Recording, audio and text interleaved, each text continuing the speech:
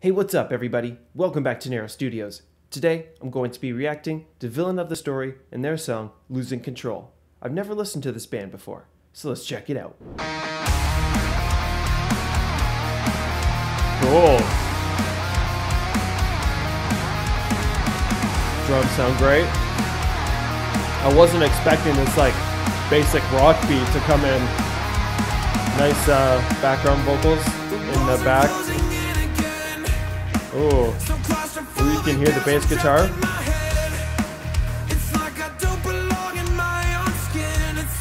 I love the vocalist tone. Nice. Cool.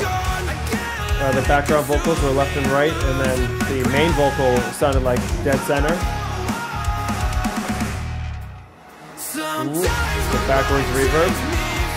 Whoa! Still with the basic rock beat. Cool, man.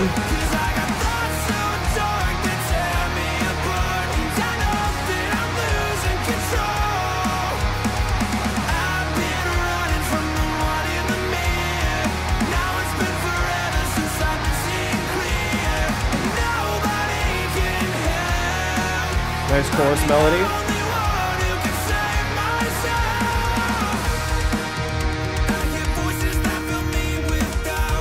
Ooh. Ride sounds great. Those toms sound awesome too.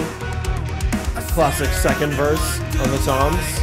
Ooh, sounded like a splash.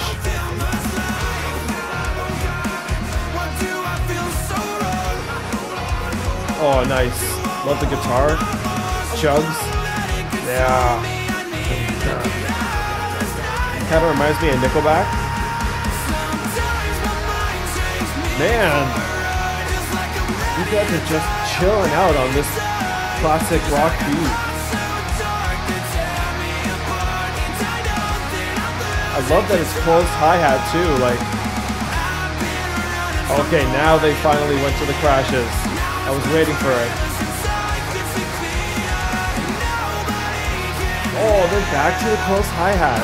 Bro. So crazy. Oh. Oh, yeah, that's heavy. Ooh, very 80s.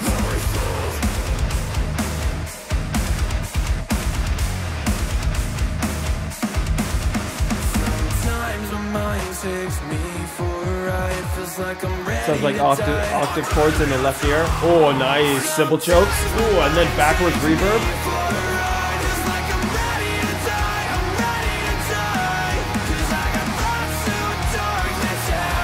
Yeah, great harmonies as well for the chorus. Yeah, back to uh, crash.